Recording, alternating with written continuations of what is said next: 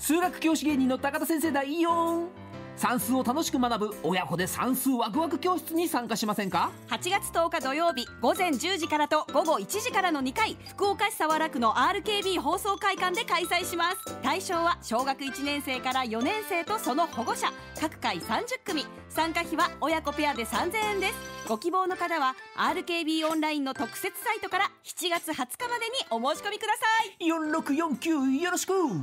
毎週火曜日のこの時間は神戸金文のキャッチアップです。はい、えー、福岡県宗像市在住だった詩人でノンフィクション作家森崎和恵さんが亡くなって2年が経ちました、はい。えー6月15日が命日で95歳ということですね、三回忌にあたり戦後の社会に大きなあ足跡を残した森崎さんを偲ぶしイベントが、えー先月末にえー西南学院大学で開催されたんですねでそこではあの森崎さんに関わる RKB とお NHK のドキュメンタリーが特別上映されて、はい。まあ、150人、うん、集まりました。やっぱり人気があるなと思いましたね森崎さんって、えーまあ、あもう95歳で2年前亡くなってるんで、あまり直接は知らないかもしれないんですけど、えー1927年昭和2年に朝鮮半島で、えー生まれました、えー父親はあ日本の植民地だった当時の朝鮮で教師をしていた、で森崎さんはあの17歳で1944年ですから終戦の前の年に、えー現在の福岡女子大学に進学して初めて、えー内地でに日本の方内地で暮らしてそこで敗戦を迎えた方です。でイベントではあの RKB のディレクター木村英文、うん。まあ、秀文さんですね、英文さんと言われますが97年に制作したドキュメンタリー「月城の道戦場から書いた詩人」が上映されました。えー主人公は森崎和恵さんが帰国後にえー詩を学んだ医師の丸山豊、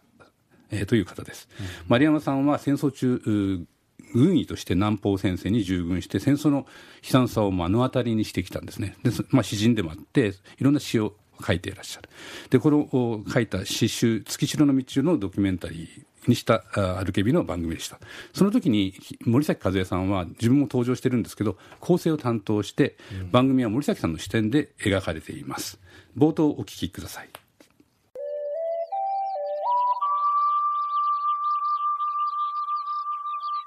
敗戦後の久留米の町は、筑後川の川辺へかけて一面の菜の花でした。私は結核療養所の病室から一年に一、二度、久留米の親元へ帰宅していました。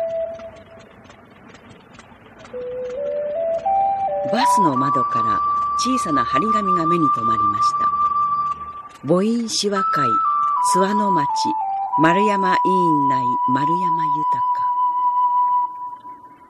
心に火が灯りました。この町に詩人がいらっしゃる。な感じで、えー番組が始まっていきますが、えー17歳で、えー日本に帰ってきたそして敗戦を迎えた森崎さんが出会った詩人丸山豊を、を取材していくという形です、で、えー朝鮮で生まれた森崎和恵さんにとってはふるさとは朝鮮なんですよね。初めて日本に戻ってきて、えーまあ、来たということです、はい。で敗戦後に、えー自分は朝鮮半島では実は侵略者抑圧者の側だったんだと。それを気づかずにあ朝鮮を愛して暮らしていたということに気づくで自分のふるさとは朝鮮なのにそこをふるさとと言っていいのだろうかというふうに悩んでいく。そこが森崎さんのその後の行動や文学にもものすごく大きな影響を及ぼしています、まあ、とっても真剣な姿勢が反映しているんですね。えで、えーそのイベントにはですね、えー大阪から文学の研究者2人が招かれました。でこのど80分のドキュメンタリー「月城の道」を見た後に、えー大阪大学大学院の渡辺恵里教授がこういうふうに話していました今日ここで見れたことが良かったということの一つは、で、私たちの戦争の記憶ってどうしてもですね、太平洋戦争という言い方がそうであるように、アメリカとの戦争みたいな感じで、どうしても記憶されていて、そうするとアメリカに負けたのだという感じで、まあ、被害の記憶として、やっぱり形作られてしまうところがあります。ところが、実際には、まあ、日本はアジアに進出をして、そしてそこでですね、まあ、侵略もしたし、そういう意味での、ま、まあ加害の記憶というのも含み込まれた映像を今日はこの場で見れたということは、すごく大事なことかなというふうに思っています。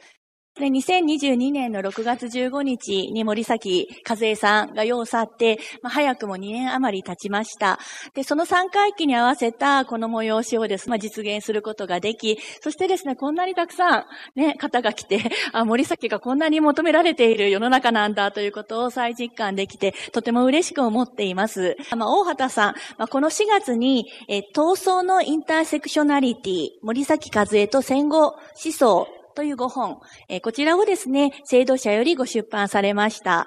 で、あの、まあ、これ、森崎和恵研究のもう、紛れもなく第一人者のお一人です。これ、あの、筑豊時代の森崎和恵というものにですね、こう、じっくり取り組んだ、あの、本当にですね、すごい、えー本だというふうに思います。はい。えー渡辺教授が紹介した大畑凛さん、えーのも大阪大学の研究者でですね、まあ、ほあの本のタイトルは「闘争のインターセクショナリティ」というカタカナのちょっと難しい言葉なんですがインターセクショナリティ、まあ、日本語で言う訳すと交差性交差する性質というい言葉なんですね。でインターセクションは交差するポイントですね、はい。で何かと何かが交差したときにそこにはあの別の変化が生まれてくるという考え方なんですけど例えば人種階級ジェンダーセクシュアリティ国籍世代いろんな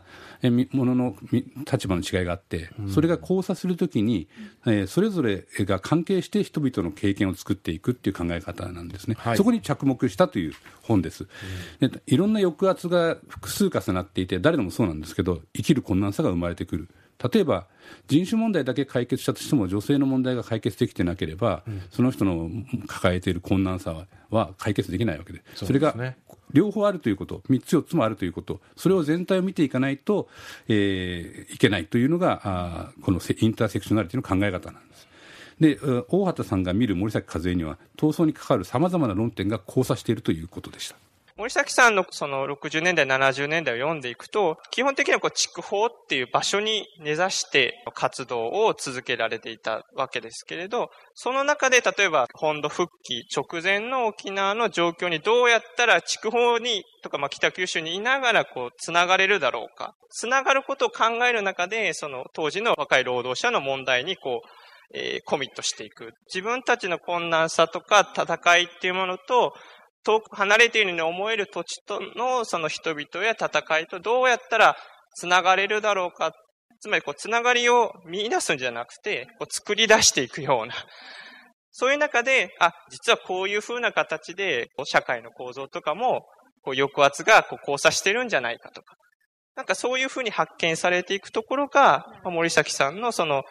まあ思想の中に交差性っていうのがあるとすればそういうとこがあるんじゃないかな。あの森崎さんの本はですね近年復刊が相次いでいて、まあ、真っ暗女幸福からの危機が岩波書店唐幸さん異国に売られた少女たち朝日文庫から、まあ、こういった本がどんどん復刊されてるんですね。はい。やっぱこうおそういう視点でえー見ていくとお森崎さんはいろんな要素を持っていたんだなというふうに思います。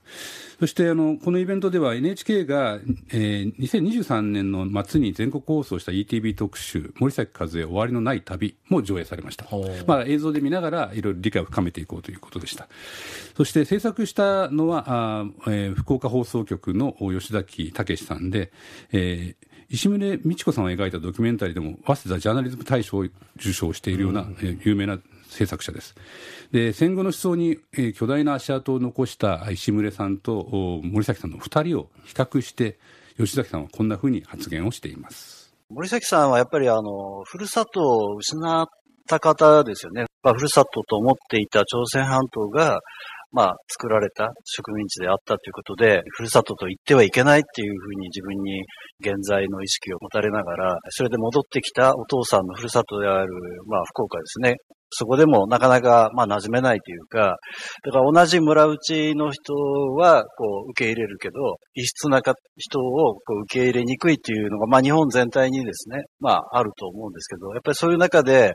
悩まれたり苦しまれたりして、で、多分その、筑豊に行ったのも、それを探しに行ったと思うんですよね。だから地上にない、石村さん的な言葉で言うと、まあもう一つのこの世っていうことを石村さんおっしゃってますけど、こうあってほしいとか、あるいはあるべきじゃないかと考えるようなものを探し求めていったときに、まあ筑豊、地地上にないものが地下の世界に男女平等に働いていたりとか、非支配ではないような世界を求めていった。だけど、まあそこでも挫折といいますかね、うまく様々な困難に直面して、で、最後はやっぱりもう旅して探すしかなかったっていうことかなと。やっぱり石村さんはその水俣病というものに直面して様々な不条理ですよね。大企業、あるいは国とか、強力な力の前に患者さんたちが非常にこう苦しんでおられる現実を目の当たりにして、あるべき世の中を求めていこうとしたときに、多分自分のふるさとである水俣のかつての姿ですね、近代化する前の、そこに何かヒントを求めようとされてたんじゃないかなと。ところが、森崎さんの場合は、そのふるさとがないので、やはり旅をして探すしかなかったじゃないかなと。地方というか終焉に行くっていうのは、森崎さんはやっぱり朝鮮半島での現在意識っていうのがすごく強くあって、その朝鮮の人たちに、まあ、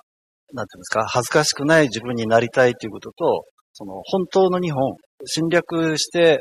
植民地にした日本ではない、もともとあった日本って何だろう、もう恥ずかしくないような、なんていうの、もともとの日本を探したと思うんですよね。もちろん、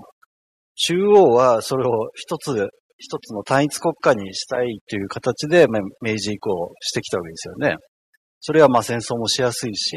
そういう形に、えー中央集権的にしたと思うんですけど、それが残されてるところを探していったから、どうしてももうもちろん地方というか、周辺に残っている本当の日本を探していったのかなというふうには思ってますね。森崎さんはあの、まあ、筑豊の炭鉱で働く人たちを支えるような活動に参加していくんですけども、まあ、挫折した後その後の後半生では日本全国を旅して取材をしていった、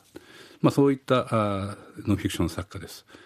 えーまあ、今の若い世代にあまり読まれてないんじゃないかと思うんですけど復刊されているのでちょっとぜひ特に唐幸さん「異国に売られた少女たち朝日文庫」これはおすすめですよ。あのまあ、税別620円なので、まあ、手に取りやすいと思います。まあ、16歳で朝鮮に売られて死んだ女性。東南アジアで財を成してその後壮絶な自殺を遂げた女性、まあ、ふるさとを持って売られていった女性たちが異国の地で見た夢は何だったんだろう。そういったことを追いかけていくというノンフィクションの金字塔と言われています、まあぜひ唐幸さんなどから入っていかれると森崎和恵さんを、えー学ぶにはいいのじゃないかなと思っています。今でこそ今だからこそ学んだ方がいい、えー女性作家だと思っています、えーここまで神戸金文のキャッチアップでした。裏には裏がある。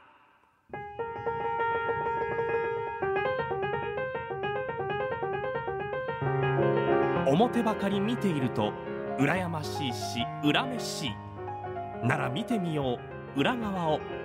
聞いてください。裏話。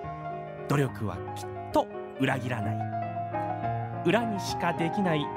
人生のさよなら勝ちを目指して。藤原玉木。日曜の裏。RKB ラジオで毎週日曜朝10時15分から放送。ポッドキャストでも同時配信しています。